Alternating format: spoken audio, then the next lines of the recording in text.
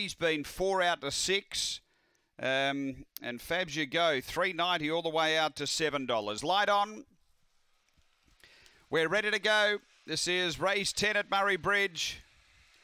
They're racing, and there's pace in the early part from Yendera, Evie, Shanlin, Charlotte pushing on harder. They match it early. About three away came Howling Hoss. Next is Forte Nero. Uh, then came Line Seeker. And back at the tail is Fabs You Go up front. Yendera, Evie's booting up underneath the hold. Shanlin, Charlotte. Then Howling Hoss and Forte Nero. They race to the turn. Yendera, Evie led. Out, out wider, Shanlin, Charlotte. Then we've got Line Seeker, Howling Hoss. It's a real finish. They drive. Line Seeker has beaten Howling Hoss, and then we've got uh, Yendera Evie with Shanlin Charlotte and Forte Nero on a ripping finish.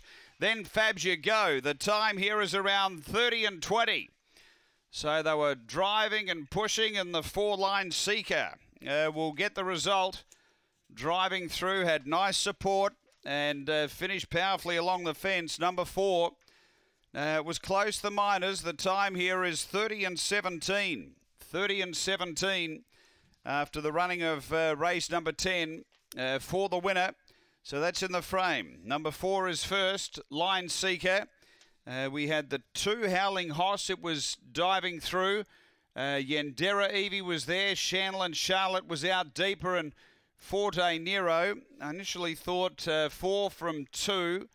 But uh, we stand by. 30 and 17 the time. Number four, the winner uh, in a really competitive 530 metre race, and uh, we'll have further numbers to uh, to follow. They are at the uh, the boxes there at Mandurah, so it's uh, four and a photo after uh, race number 10 here at Murray Bridge.